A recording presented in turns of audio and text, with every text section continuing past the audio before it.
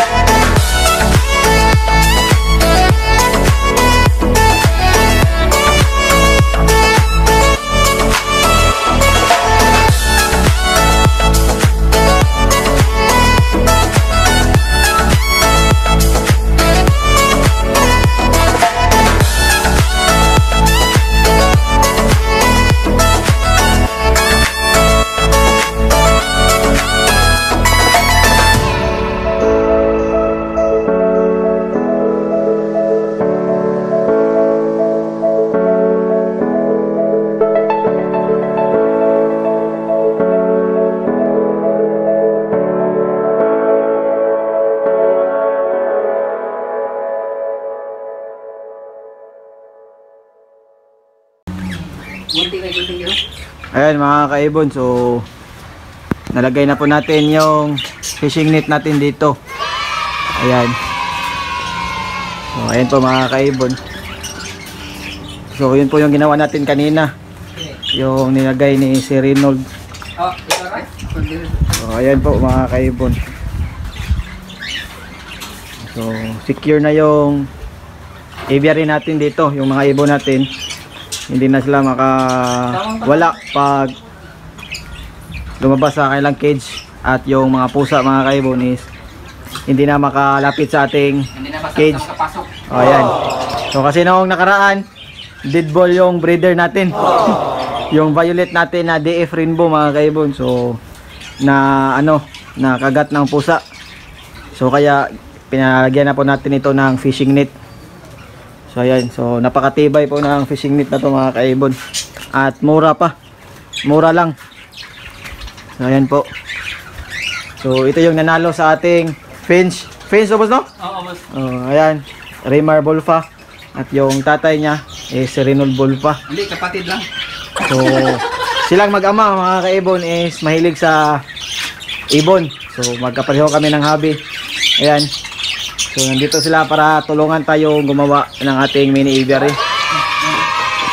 So, ayan po mga kaibon. So, kung naki- nakikita nyo dyan sa taas, meron po yung fishing net hanggang sa baba.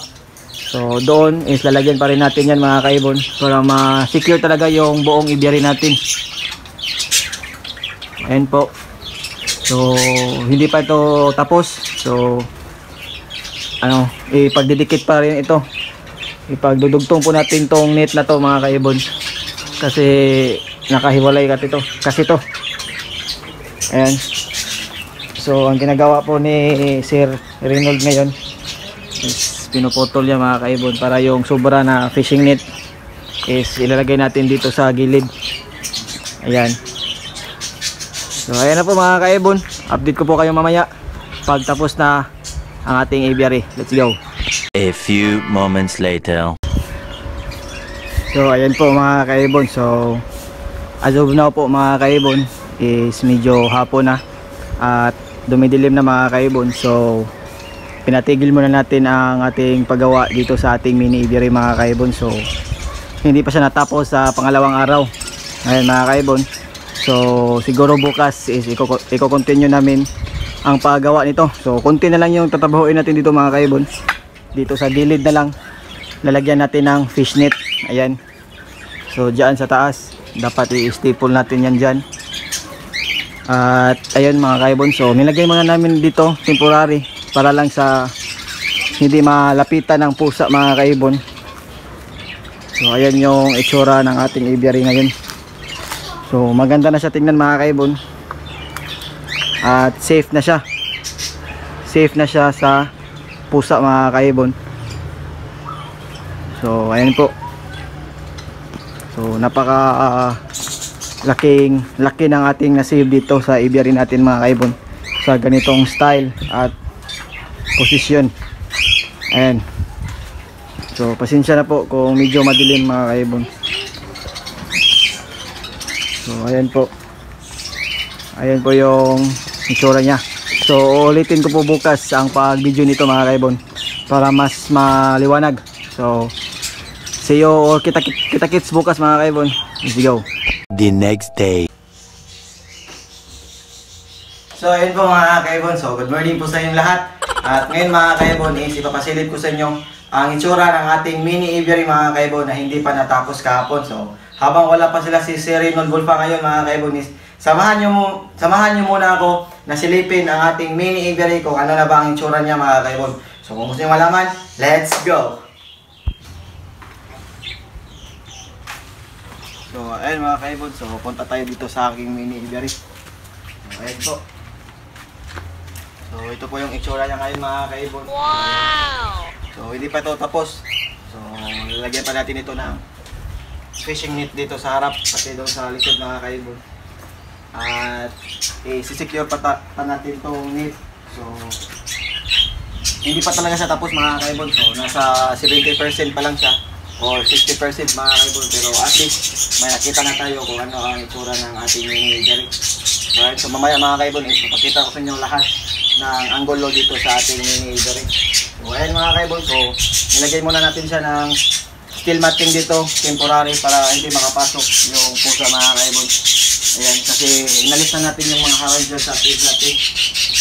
So ayun lang po sa ngayon mga kaibon, so ipapakita ko sa inyo ang buong paligid ng ating mini aviary. So tara! So dito mga kaibon sa banda na ito So lalagyan pa natin yan ng angle bar dyan mga kaibon. So nakatayo para magsisilbing frame para gawin nating pintuan papasok sa ating mini bearing. So dito yung pintuan natin mga kaibon kasi merong ano na meron ng bubong. So pag papasok tayo pag may ulan hindi na tayo mababasa. So ayun mga kaibon dito hanggang dyan. So ang parte dito mga kaibon is ano, naka-fix na fishing net na yan. So, hindi na natin matatanggal yan mga kaibon. So, dito, kung napapansin nyo, hindi pa talaga natin sila na na-fix sa ating angle bar. So, mamaya mga kaibon is aayusin pa natin yan pagdating ni Sir Renal pa. So, wala pa sila ngayon mga kaibon kasi napakaaga pa. 7 AM pa lang po mga kaibon. So, ayun, tapos na po tayong magpakain sa ating mga bajilgas dyan. Sa ating mga rainbow. So, may konti akong na-harvest doon. So sa dalawang pairs lang natin yan, dalawang breeders. May konti ako na-harvest dyan, mga mga sa limang, limang piraso pa yan mga kaibon. Kasi meron pa itong tagi-isa, hindi pa bumaba sa next box nila. So ayan. So sa earth ko naman mga kaibon is huwag kayong mag-alala kasi yung init naman dyan is patagilid. Dito yung punta niya mga kaibon. Kaya hindi naman matatamaan yung mga cages natin or yung mga ibon natin na na- nasa baba. At nilagyan ko na lang din ng container mga kaibon. Ayan. Para yung tubig ng aircon is makukuha natin. Hindi siya mapupunta sa ating cage. So ayan. So nilagyan natin, natin yan ng screw. So matibay yan mga kaibon kasi yung screw na gamit natin is mahahaba. So nakabaon talaga yan doon sa likod mga kaibon so kaya safety tayo dito at matibay yung aviary natin. So ayan mga kaibon. So kung dito is parang ang ganda lang niya lang tingnan. Ang ganda niya lang tingnan mga kaibon. So ayan. So yung fishing net, fishing net natin pag na fix na yun mga kaibon so hindi talaga ganyan ang forma niya. Lalagyan natin yan ng rolling yung roller ayan para pag walang ulan is i iaangat natin yung trapal. Hanggang dyan mga kaibon. Hanggang dyan lang. Sa may puti. Ayan yung puti na yan. Hanggang dyan lang para matatamaan talaga sila sa sikat ng araw sa umaga mga kaibon. Lahat ng ibon natin dyan. So ayan so makikita nyo. Ayan may mga plywood tayo nilagay dyan. So yan yung ginamit natin para madikit yung trapal at fishing net natin. So ayan. So may mga screw dyan mga kaibon. Mga Phillips screw. Ayan so dito naman sa parting likod. So dito mga kaibon is temporary lang in- din ito. Nilagay muna namin ni Sir Rinal Bulpa para secure yung likuran parte kasi dito is napakaraming pusa talaga mga kaibon. Expected na yan pag nasa subdivision tayo. Is marami talaga mga gumagalang pusa. So hindi, hindi, hindi din natin pwedeng i-blame yung pusa pag may namatay sa atin na ibon kasi nature na nila yan. So pray talaga prey talaga sila sa ibon mga kaibon. Ah uh, predator talaga sila sa ibon. At yung ibon is kanilang prey ayan. So hindi ta hindi natin mabiblame yung pusa pag may kinain sila dyan. So ang dapat natin gawin is i-secure talaga natin ang area kung saan nandun ang mga ibon natin. So yan yung gina- ginagawa natin ngayon mga kaibon. Nagpagawa tayo ng mini aviary kahit konti lang. Ayan so fishing net yung ginamit natin para konti lang din yung magastos. At the same time is maganda sa tingnan mga kaibon at madali din gawin. So kasi pag yung galvanized kasi yung gagamitin natin is napakatigas ng mga kaibon.